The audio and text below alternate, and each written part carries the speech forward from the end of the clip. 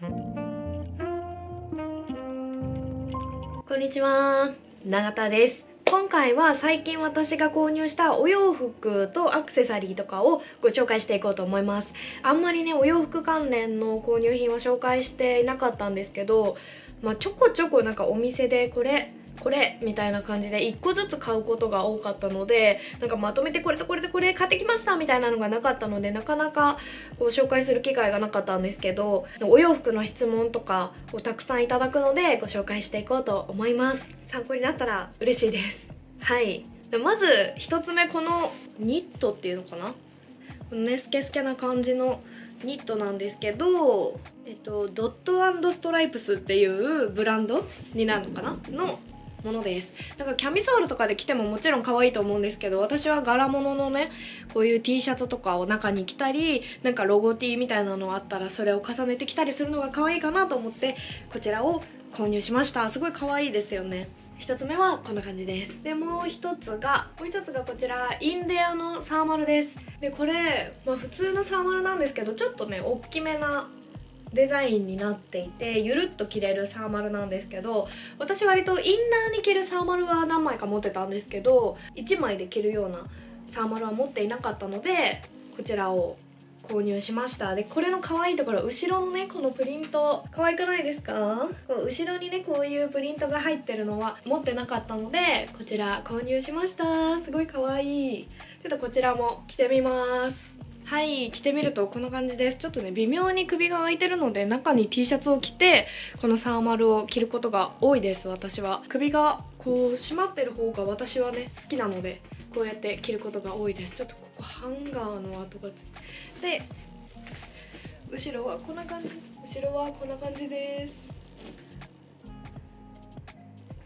はいで結構ねゆるっと着れるダボっとしてる感じなので私はすごく好きです。はい。じゃあ次続いても30なんですけど こちら。エバーラストの30です。これもねだいぶゆるっとした感じになっていてこれはまあ特徴としてはこうクラッシュしてるデザインになっていて袖もねこんな感じでクラッシュしています。で裾も裾もこんな感じ。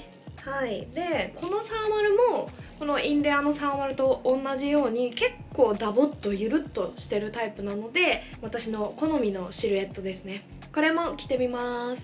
はい着てみるとこんな感じです。これもねだいぶゆるっとした感じ。これはね身頃もだいぶ広い感じで。こんな感じ。はいこんな感じ。だいぶゆるっとしてます。こんな感じのシルエットでぶっかぶかな感じなんですけどそれが可愛いかなと思います。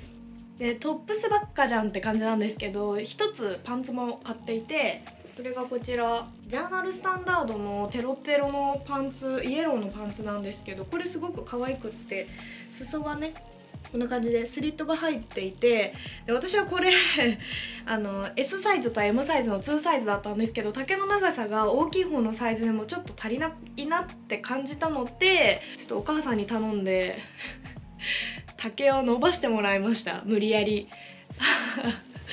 これも履いてみます。はい履いてみるとこんな感じです。こんな感じ。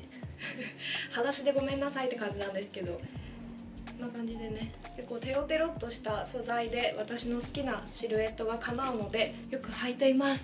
はい。お洋服はこんな感じです。そしてアクセサリーなんですけど1つ目はこちら。EM のファミリーセールで購入しましたなんかね形がすごく可愛いなと思って購入したんですけどこんな感じです。こんな感じの見え方をするアクセサリーですね。なんかこう一見ただのシルバーかと思いきやちょっとデザインが入ってるみたいな感じのこんな感じ？なんかどうやって見せれば分かりやすいか分かんないですけどこんな感じのデザインの入ったアクセサリー指輪を購入しました。ちょっとね緩いんですけどそれもご愛嬌ということですごく可愛いです。であともう一つはピアスなんですけどこちらジェニーバードのピアスを購入しました。でこれをねこんな感じでこっちが上に来ても可愛いしこっちが下に来ても可愛いみたいな感じのピアスです。つけてみるとこんな感じこの揺れる感じもすごく可愛いし大ぶりなのも可愛いですよね。でこれが上に着てても可愛いです。こんな感じ。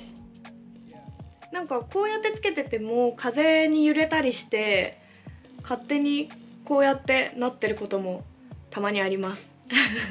では以上が最近私が購入したお洋服とアクセサリーたちのご紹介でした。私は割とこう長く使えるデザインのものを購入することが多いのでシンプルだけどちょっとこう凝ったデザインになってるものとかが多いです。はいではちょっと春服を購入する参考になったかどうかはちょっと怪しいですね。私の好みが前面に出てしまった感じなので。皆さんがどんな春服を購入したのか私も気になるのでよかったらコメントで教えてください。では今回も最後まで見てくださってありがとうございます。また次の動画でお会いしましょう。チャンネル登録高評価 Twitter、Instagram のフォローもお待ちしております。永田でした。